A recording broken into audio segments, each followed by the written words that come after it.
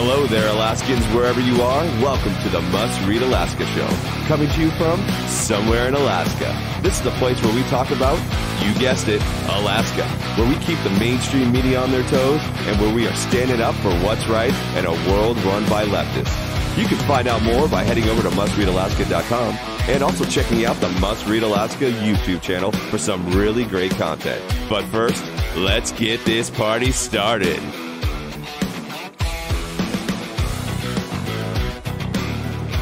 What's good, Alaska? This is Scott Levesque, and you're listening to the midweek edition of the Must Read Alaska podcast. I'd like to welcome everybody, and hey, just take a moment and give this podcast a five star review. It really helps when people are searching for key terms like Alaska or politics. It helps bring this podcast to the top. And if you want to take just an extra step, go ahead and give us a written review. We love hearing from our listeners. The reviews we've got so far have been incredible, and we really appreciate all of our support for this podcast. And again, if you'd like to support Must Read Alaska and additional content like podcasting and videos and so forth, you could do so by going to mustreadalaska.com. And at the top right, there's a donate button. You can go ahead and donate there. We appreciate all our supporters, our readers, and our listeners. We can do this because of you guys. So thank you so much. Well, we have a lot going on. There's a ton of stuff. And today, I don't want to call this the Forrest Dunbar edition, but we're going to unpack two pretty big stories that we're looking at for Forrest right now. But before we do that, let's talk about a couple things that have been uh, recently come up over the last week or so. Uh, the first I want to touch on is a candidate debate for the 2021 mayoral election here in Anchorage. And it really uh, pits three candidates to have a discussion um, on February 24th, and the doors are going to open at 5:30, and it's at the Mate Event Catering, and that's on, I believe, East 76th Ave. I believe that's where it is. Anyways, it's starting. I believe around six o'clock. Doors open at five thirty, and the candidates that are going to be there are going to be um, Mike Robbins, Bill Evans, and Dave Bronson, and they're going to essentially your centrist to left, or excuse me, your centrist to right uh, leaning candidates are going to be sitting down and having a discussion about some of the main issues that are facing our municipality in the coming year and then years beyond there during their term if they get elected. And so this is going to be a great debate. I think this is extremely important. The the event was sold out literally just moments after putting tickets on sale.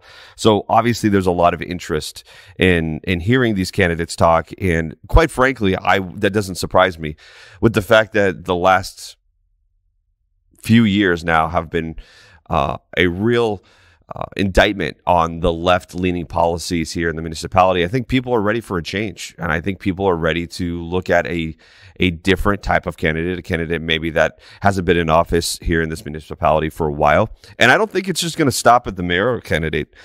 Uh, portion. I think this is going to trickle down, and we'll get to that in a minute. But first, I, I think it's really important. Listen, if you haven't had the opportunity to um, mark this on your calendar, do so. This is something you're not going to want to miss. Listen, these are the these are three leading candidates right now outside of anybody on the left that are are real shots at winning this election. I mean, real shots. You have Mike Robbins, who's been a local business owner, um, guy who who has connections within the business world. You've got Dave Bronson, who's who's really picked up steam. He's ex-military, um, really for uh, the business owner as well, but also has really shown its face during the summertime in 2020 when there was a lot of protests and um, and gatherings outside the Loussac Library in response to not only just the the pandemic response or policies, but also in response to some ordinances that were being passed. And then there's Bill Evans, and Bill Evans has a has a track record here in Anchorage. He's the most centrist candidate that's probably going to be on the ballot and and quite frankly, he's the one that um, could garner that that purple. You know, I have some I have some left leanings, right leanings, but I don't really consider myself one or the other. He he sits right smack dab in the middle. So this is going to be a great debate. This is going to be a great discussion. And my hope is is that this is really about the issues. At the end of the day, I'm not I'm not interested or concerned about backbiting and fighting and you know jabs and all that. I, I want to know and I think the people want to know exactly where the, each candidate stands on really critical policy issues. And of course, the number one policy issue that's going to be out there is what's going to happen if they have emergency powers. What is their emergency orders going to be? Uh, where do they see themselves uh, fitting in the terms of this pandemic um, policy making, and and how are they going to work with a current assembly that is very left leaning, that has the majority of individuals on that that assembly do not see eye to eye with most of these candidates. I would say Bill Evans has maybe a little bit of a shot to working best with them, but there's going to be conflict there. And it'll be interesting to hear how each one of these candidates is going to work with the assembly to get legislation and policy uh, passed and, and ready to go. Because at the end of the day, it's lining up right now that the assembly is setting itself up that after the election takes place, they're going to vote on the extension of the emergency of declaration. Keep in mind, they want you to believe this, but it's not true. The assembly votes on the extension of emergency declaration. They do not vote on emergency powers. However, an extension in, in the declaration of an emergency automatically extends the ability for the mayor to have emergency powers. So they go hand in hand. As much as they want to tell you that it's not lock and step, it is. So this is it, the assembly is is sort of hedging its bets. So if if a candidate that's very left leaning, Forrest or even Falsey gets in, uh, you p- probably can can rest assured that there's going to be another extension to the declaration of emergency. Now, if Bronson or Robbins gets in, you can guarantee that that's going to be taken off the table. And Bill Evans, I'm not really sure. I think it depends on what goes on behind closed doors, if you know what I'm saying.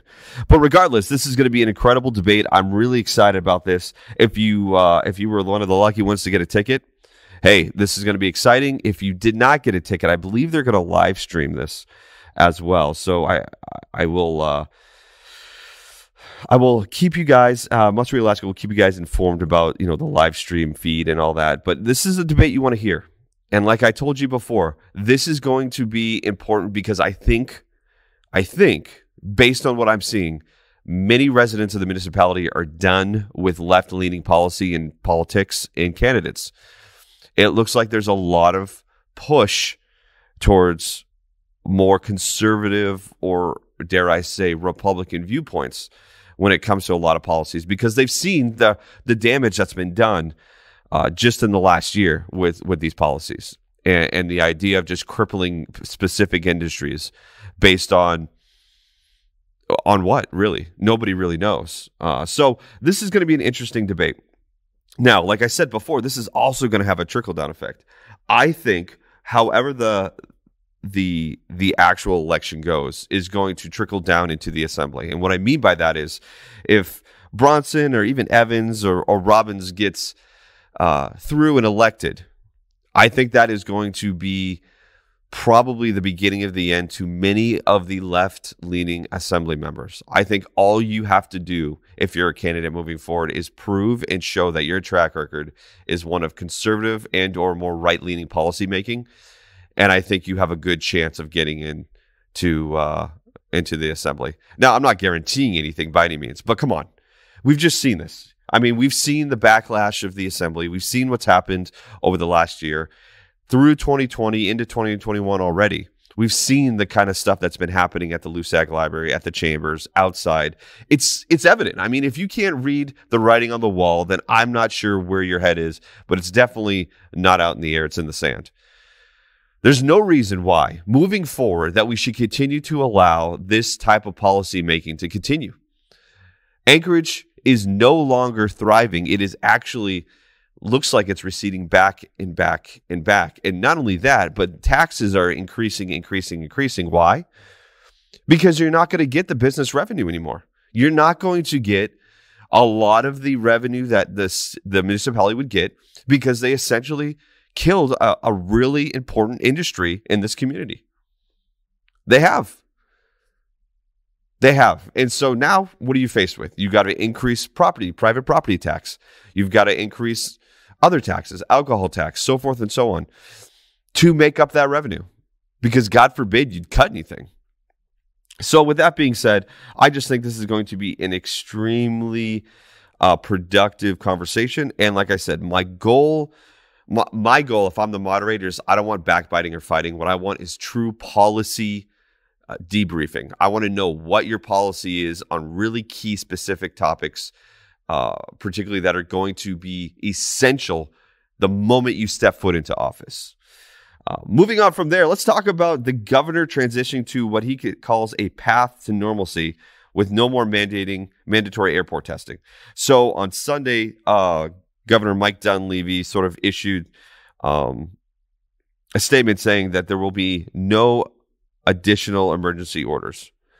Uh, and again, he left the caveat, at least not right now, which is which is a big deal, and I, and I'll tell you why here in a second. But uh, the state is is noticing and seeing, and I'm I'm assuming Governor Dunleavy is is doing this in uh, in tandem with some of the advisors he's been using uh, in the past to uh, whether to decide to continue emergency orders. But this is a big turning point in our state. We uh, we are no longer, at least at the moment, going to be issuing any more emergency orders, which is huge. Again, I'm I'm assuming the people that he's been consulting with eh, are providing this information and could you know encouraging him to do this. Now, with that being said, this obvious obviously has a ripple effect in a lot of the communities in the bur- in the boroughs and also in the municipalities that are here in Alaska. So the question is this: From the beginning, the municipality of Anchorage specifically has said they've been in lockstep with the state on these emergency orders, and that has been a, a, a key messaging point for both the administration, old and current acting, as well as the assembly, that being in lockstep with the state on their emergency orders was fundamental in continuing the declaration of emergency. So the question now is with the state actually saying we will no longer issue any more emergency orders as of now, will that have an impact in April when there's the vote again to extend the declaration of emergency. And I would have to say, again, in the perfect world, with what they've been saying and what they've been saying um, for the last couple of months in regards to why they have extended as a key messaging point, they would not extend in that situation. However, I think that has nothing to do with what's going to happen in April. I think anything that happens in April is going to be a direct reflection of one thing and one thing only, and that is who wins the Anchorage mayor election. That is going to determine whether or not they extend emergency powers or, or sorry, extend the declaration of emergency.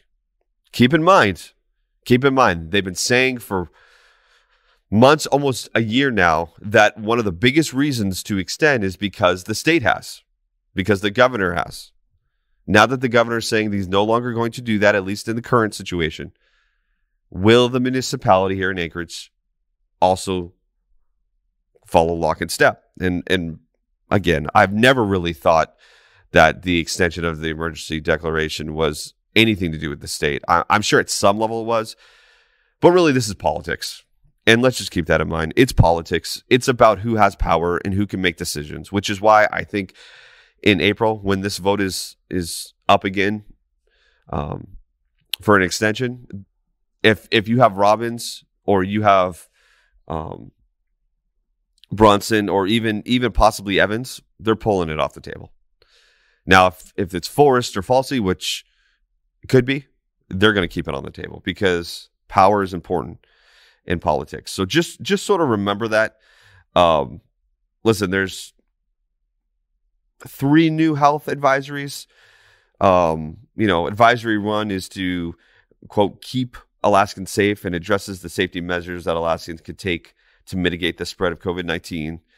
There's health advisory two, which is international interstate travel.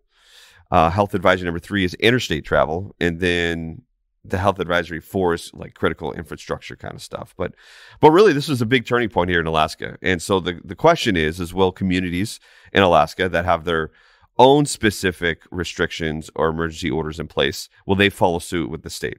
That will that will be interesting. But uh, as of right now, it expired February 14th at midnight. So there is no emergency order for the state of Alaska. There, there's just none. So let's move on. And, and like I said, this is going to be sort of the uh, unintentionally, the Forrest Dunbar episode. Well, Alaska did a bit of a deep dive on a lot of the APOC filings here recently, and, and one of those was obviously Forrest Dunbar. He filed uh, ahead of the deadline. And so we were able to get a glimpse and a little bit of a picture of exactly who is supporting Forrest. And and there are some really interesting um, just generalities. One is that Forrest is, well, I guess for lack of a better term, funded by some high profile people. Some high profile people have been contributing to his campaign, and we'll go over a couple of those individuals. Another thing to note is the amount of out of state funding he has received. Uh, that's a second portion we'll go over here in a minute. And third is comparing his fundraising efforts to Berkowitz back in 2018 and, and comparing and contrasting some of those differences in there. So let's, let's start with number one. And number one is this. We're going to look at just a couple of the people that have been funding Forrest through his campaign thus far. One of the one of the biggest funders and one of the most high profile funders and high dollar um, donation um, pieces that he's got from is Jamie Raskin. Now, you may have heard of that name. Jamie Raskin is a congressman from Maryland. Uh, he was the attorney who was the House of Representatives impeachment manager, and he was the lead prosecutor for the Donald Trump trial in the U.S. Senate earlier this month. So that's probably where you've heard that name. Now, Jamie has been uh, donating to Forrest as well as Laurie Hummel, who is uh, probably donated at least three times, I believe, since uh, March of 2020. I think she donated in March, in December, and then uh, recently in January here. So she has been donating to uh, Forrest campaign in the recent months, and she is, uh, well, she was, I should say, a part of the Walker administration. She was the former adjunct general of Alaska under Bill Walker. Um, she's also a uh, general, inspector general of the National Guard, uh, which is where you know Forrest is a a JAG officer in the Guard as well.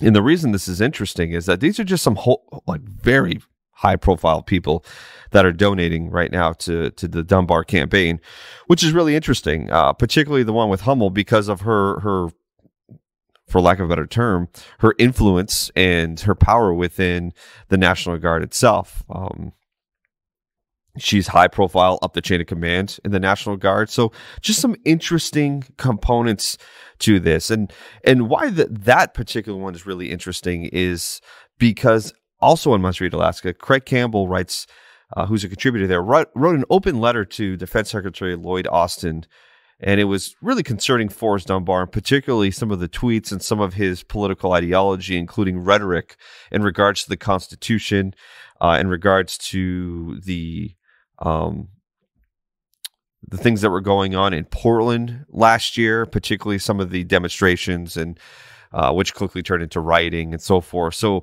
Forrest has has sort of a history of of perpetuating some of these left wing messaging, for lack of a better term. And uh, Craig writes an open letter to the Defense Secretary Lloyd Austin about this, just in general, about some of the things that are going on in the National Guard right now. I, I would recommend you read it. Again, the, the headline at Must Read Alaska is Craig Campbell's open letter to Defense Secretary Lloyd Austin concerning Forrest Dunbar. But he really kind of he touches on a, a article in the National Guard Association magazine and then moves into uh, Dunbar himself. But this is really interesting. Forrest is sort of coming up now and bubbling up. You know, you had the letters or the emails between him and Christopher Constant come out recently as well, and some of the things that they were doing, which seemed like it was not on the up and up, right? So those things were coming out. And then now with some of the campaign financing, um, filings there at APOC and seeing some of the people that are really pouring into Forrest's campaign, it, uh, Forrest is just putting himself into this situation. Now, again, there's a lot of questions to be had, but the two biggest people that we, that have really popped out on this um, APOC report has been Jamie Raskins, like I said, which is the congressman who is the lead prosecutor uh, in the Donald Trump trial here this earlier this month. And then, of course, Laurie Hummel, which we just talked about, the uh, Inspector General of the National Guard. But what's also interesting about these filings is just how many donations have come to Forrest's campaign outside of Alaska. You know, after Must Read Alaska kind of did its research, it shows about 21% of Forrest's donations have come out of state, which is very interesting. Very interesting. And as we we get to that third component of what we're talking about, with which is the comparison to Berkowitz's campaign in 2018, this is a big jump in out of state donations, particularly for a lead Democratic candidate. Now, why is that interesting? Well, a couple reasons. Number one is obviously is forced with some of these high profile um, donations coming from Jamie Raskins, for example. It, are there others that are following suit with Raskins in, in donating to Forrest campaign? Why are they interested in a, in a mayor race here in Alaska? And what does that really mean? So part of this is speculation on my part, but what it tells me is is that there is some concern um, from the Democratic Party nationally.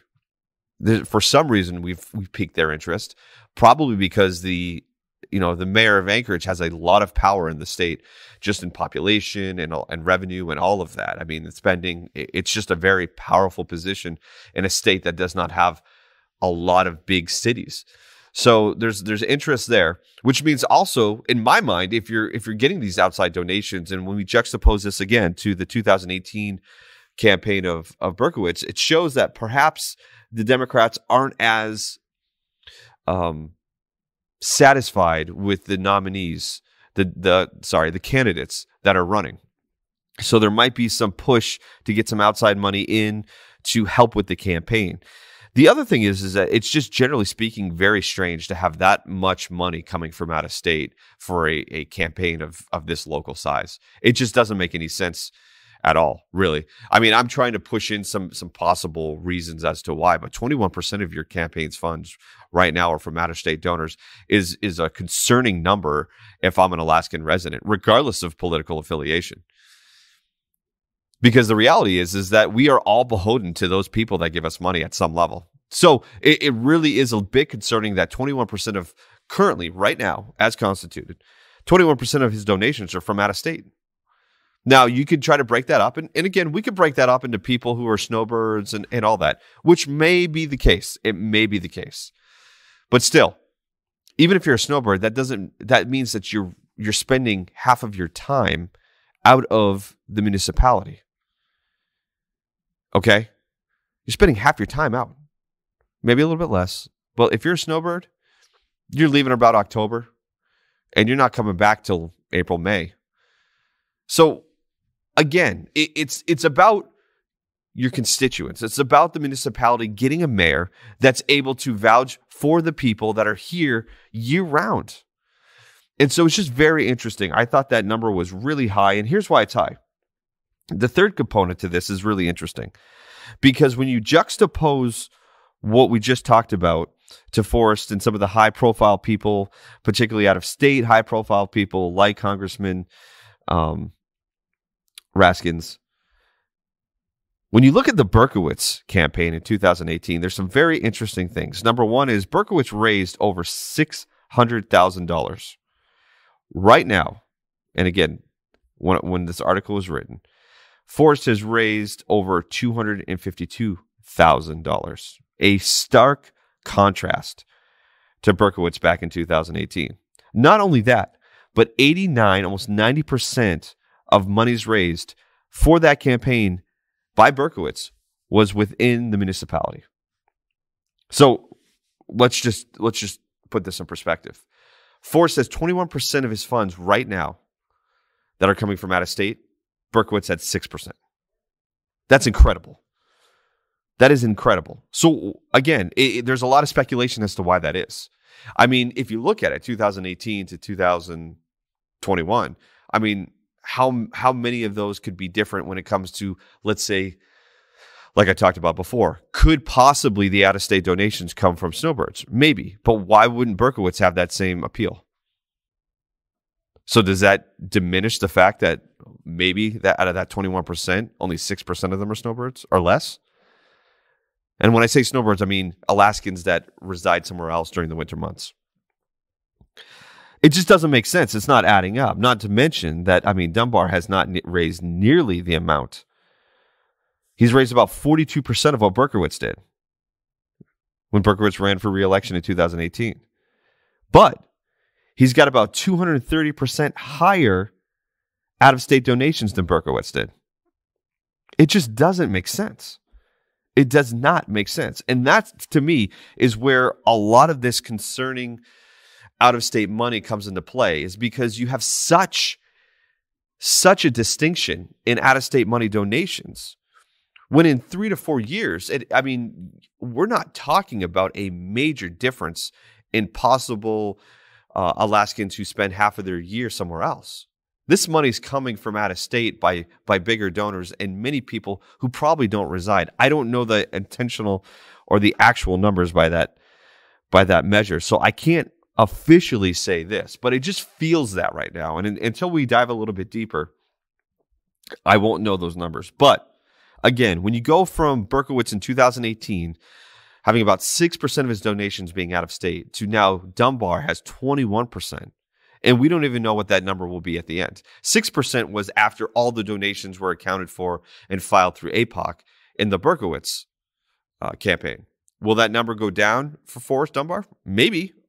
That could possibly be true. But I don't know yet. And God forbid that goes up. That's not a good sign.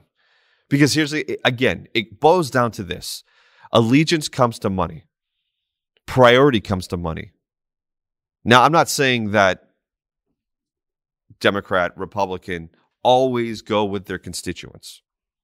We'd like to think in a perfect world that actually happens. But the reality is this. The reality is is a lot of candidates are beholden to where their money comes from, to the people where their money comes from. And if candidates are getting their money from the people within the municipality, great. If the majority of their funds are coming from there, great. But with 21%, that's a high number. I mean, that's really high. So I'll be interested to see as as the Dunbar campaign gets through and, and more filings come in, what that percentage actually ends up being. What's the final number there? And more importantly than that, digging out where exactly those funds are coming from. Are they for snowbird Alaskans or are they really from people out of state that are just chipping in? It's important that we just realize the amount of money that is being collected in the Dunbar campaign is going to be interesting to see moving forward where that leads to. I just think it will be very interesting to see. And uh, and as we continue to look at some of the APOC filings from from all of the candidates, it'll be very very curious to see how this ends up. Because if there's one thing I know about what's happened over the last years, particularly in in the municipality, is that residents and people within the municipality that have businesses are fed up with not being heard and also feeling like their representatives are not representing them. So in this time, I think a call of unity and, and hearing from the people is going to be important. So we'll see how this plays out moving forward. But hey, that's it for me today. I appreciate everybody who's been listening. We love you. We love our listeners. We love our readers and we love our supporters. And we just can't do this without you here at Must Read Alaska. I'm privileged to work with Suzanne Downing and John Quick. It's been really great being a part of this team.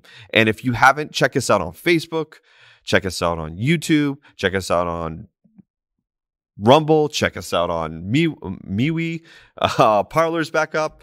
Uh, we're on all major social sites and it's all under Must Read Alaska, all one word. So check us out there. Give us a follow, a like, a subscribe, all the above, because we're putting out content on a regular basis. And uh, we do this so that you get a full, rounded view of the news, not just a particular narrative.